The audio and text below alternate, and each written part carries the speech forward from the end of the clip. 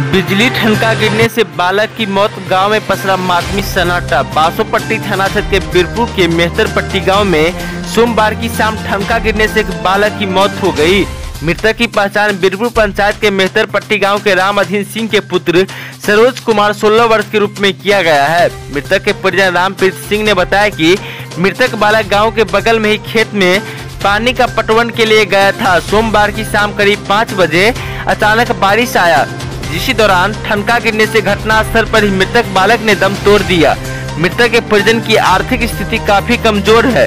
मृतक के घर पर परिजनों ने खेत से सब दरवाजे पर लाया, जिसके बाद घटना की खबर आग की तरफ़ फैल गई। स्थानीय लोगों ने घटना की सूचना स्थानीय पुलिस प्रशासन को दिया वहीं पंचायत के मुखिया सहित स्थानीय ग्रामीणों ने मृतक परिजनों को सांत्वना देते हुए स्थानीय प्रशासन से आपदा राहत कोष से मुआवजा दिलाने की मांग किया है घटना स्थल पर पुलिस पहुंचकर लोगों से जानकारी लिया मृतक के बालक इकलौता भाई थे उनके पिता बाहर रहकर मजदूरी कर रहे हैं मृतक के परिजन ने बताया कि ठनका गिरने से बालक की मौत हो गई